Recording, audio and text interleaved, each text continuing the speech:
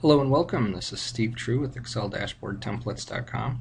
Please visit my blog at ExcelDashboardTemplates.com and subscribe. Also, don't forget to subscribe to my YouTube channel so that you're sure to get the latest blog posts as well as the latest videos delivered right to your inbox.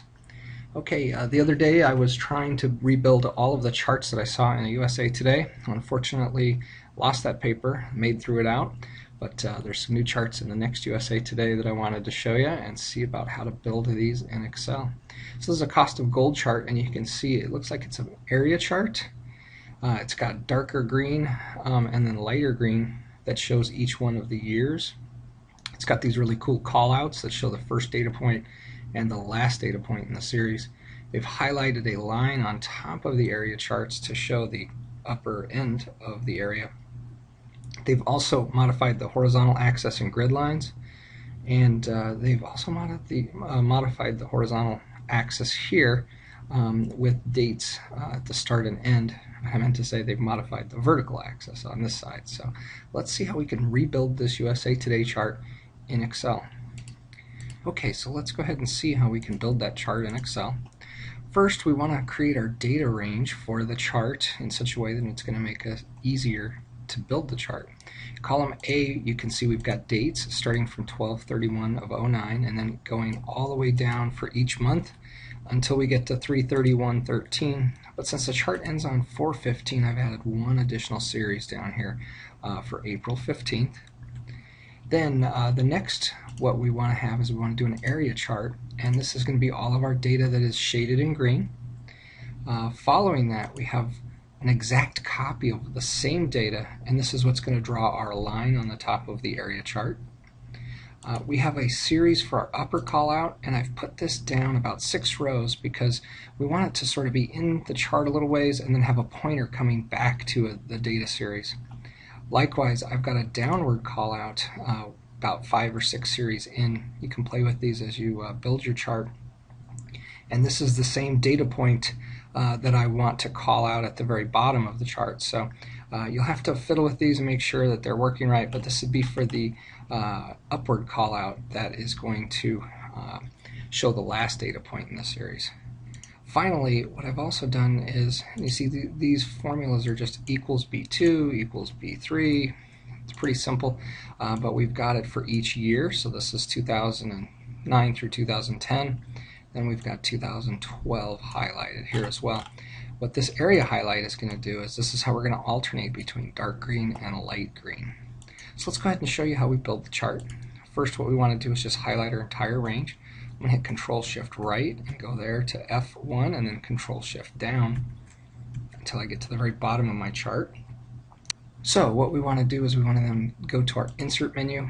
We want to go to the Area Chart button in the charts group and we want to check a 2D area chart. Alright, so let me, uh, let's go ahead and move that up to the very top so that you can see it a little bit more clearly with the data.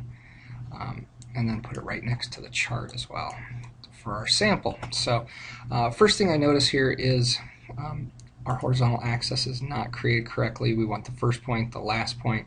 We can fix that pretty easily. Uh, so let's go ahead and do that right now. So right click on the axis and do format axis. Now it's Excel is always going to try and pick what type of axis they want to create for you. Since it saw dates, it's going to do an automatic date. I want to force this to be a text axis. And then I also want to change my interval between labels.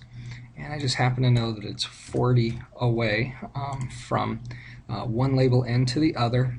Then I want to get rid of these tick marks and we're going to do none there and hit close. As you can see now we have um, the first data point and the last.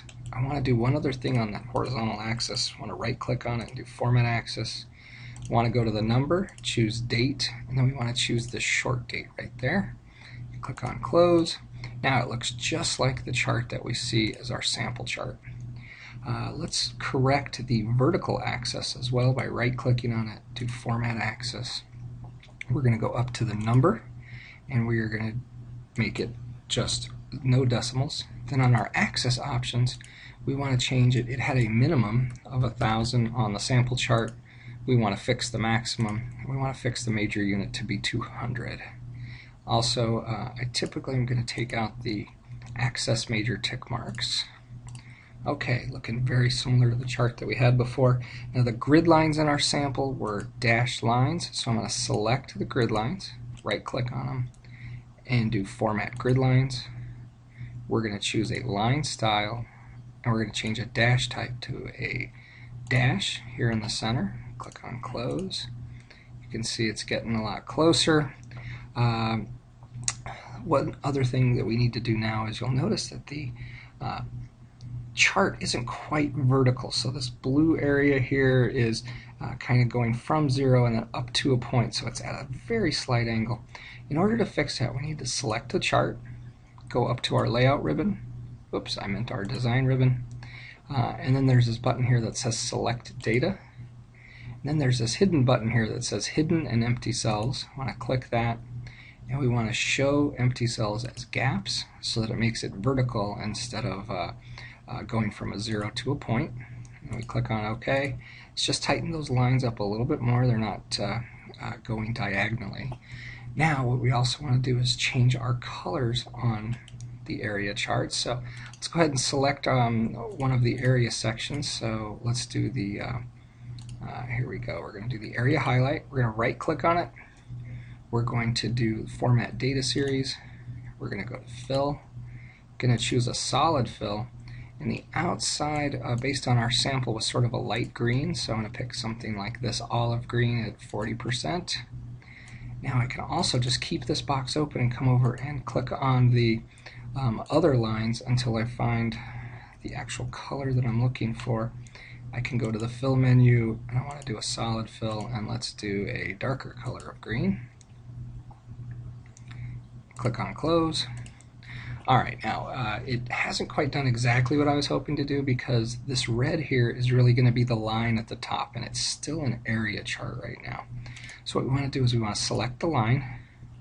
We want to go up to our design ribbon from our design ribbon hit the change chart type and we want to change this to a line type chart click on OK and then there you see the red line is going up on top of the chart we've got our alternating green and dark green highlights that are still there in the area chart I want to change also this upward callout and downward callout to lines as well so I can select the chart and then move my arrow keys until I find that selection go up to change chart type do a line chart click on OK.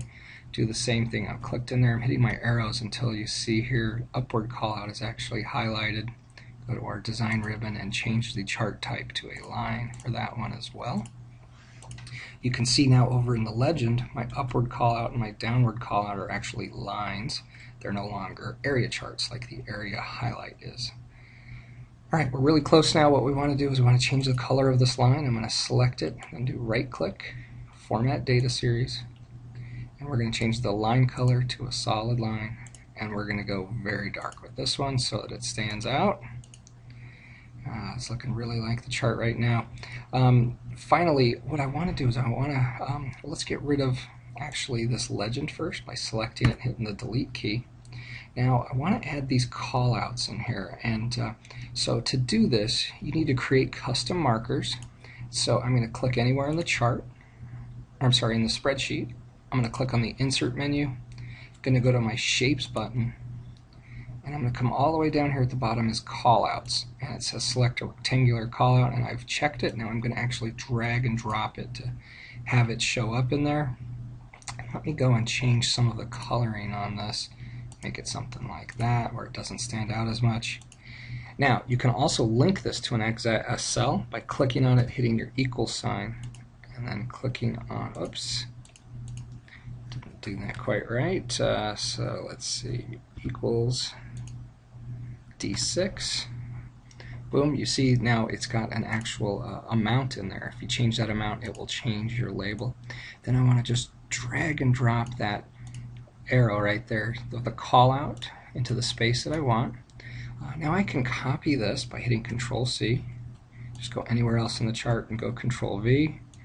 Uh, and then this one here, we are going to link it instead of D6. Okay, so what we want to do is we want to link the other one to cell E38. So let's go back up here. We're going to select this one. We can actually go up to our formula bar and just change it equals E38. Hit enter. And look, it's got 1292 in there now, so it's actually linked to the cell. Then I want to do is I want to actually move this line here, uh, that pointer for the callout to another section because it's going to be an upward callout or a downward callout uh, in this case. So um, let's go ahead and now uh, modify those in the chart. So I'm going to click on this custom marker, hit Control C. I'm going to select the chart, and I'm going to just move my mouse until I find the right one, and we're going to paste it. Look at that, it's going to show up right there. Now you might have to fiddle with these uh, marker uh, drag and drops to the callouts, uh, just in case it doesn't hit the exact spot that you're looking for. Uh, Control V. One's a little closer, but not the best as well. So let me undo both of those, and I'm just going to move this marker a little bit more. And I think this one's same thing, a little bit more like that. Copy. Go back in my chart and find my upward call outs series and paste. Oh, still not the same, not exactly where I want it. Let's move it back down like that. Once you have it locked in, it will uh, always be there for you. So that looks pretty good because that's actually calling out there. Control C. We're going to find the downward call out and paste. Nope, still a little too far. I'm going to undo that. Select this and just move it back and down a little bit like that. Copy and find the series and then paste. All right, so now you can see um, how we were able to recreate a USA Today chart where we've got an area chart that's got alternating colors uh, that equal the different years. So this is 2010, 11, 12, and now we're in 13. Got custom markers that point to specific um, data points within the line series. We've added a darker line all the way across. We've created some dashes for our grid lines modified our horizontal and vertical axis so that they show only the data points that we want and the specific lines that we want. So uh, if I kind of look at this together, looks very similar. The data points aren't the exact same. I didn't have their exact data, but uh, the formatting and how you build this chart is done exactly the same way. It's not done with creating any overlays of images or other things like that. It's all native Excel. If I change the values, these lines and areas will change as well. Once again, uh, please visit my blog at exceldashboardtemplates.com where you're going to learn all these exciting charting techniques to make your dashboards in Excel shine. Also, please don't forget to sign up for my YouTube channel so that you're sure to get the latest post directly in your inbox. Thank you.